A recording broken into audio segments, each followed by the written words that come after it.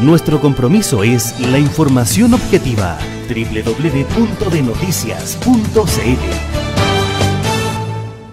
durante la mañana de este viernes 11 de abril, en la plaza de la comuna de Putaendo, la ilustre municipalidad, en conjunto con el Departamento de Educación y el área extraescolar de deportes, celebró el Día Internacional del Deporte para el Desarrollo y la Paz, con la participación de las escuelas de la comuna, las que durante las actividades de celebración practicaron los deportes como el tenis de mesa, ajedrez, mini maratón, baile entretenido, mini balonmano, gimnasia, mini futbolito, unigol, juego de chueca y gimnasia, dando un espectáculo diferente en nuestro centro cívico. Los adultos mayores también fueron parte de este evento, quienes realizaron actividades físicas que fueron practicadas por el Club Vida Renovada a cargo de su monitora. Las escuelas participantes fueron Eduardo Becerra de Casablanca, Escuela San Alberto, Escuela Gastón Ormazábal Cabrera, Escuela Renacer, Escuela María Leiva de Ibáñez, Escuela Alegría Catanda Viqué, Escuela Maripuspán, Centro de Apoyo Educacional Especial, Liceo República de Estados Unidos y Liceo Manuel Marín Fritis. Aníbal Aros, coordinador de deportes del municipio de Putaendo, nos dice. Ha sido un día muy maravilloso, como tú has visto.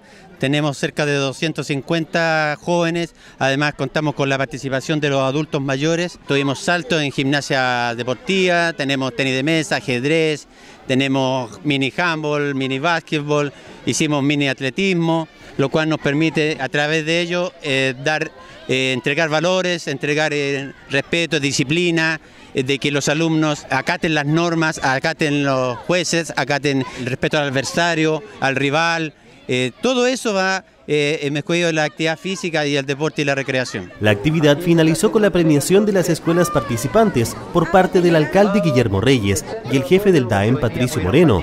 Posteriormente, los alumnos de la Escuela San Alberto de Guzmanes deleitaron a los presentes con una partida de chueca.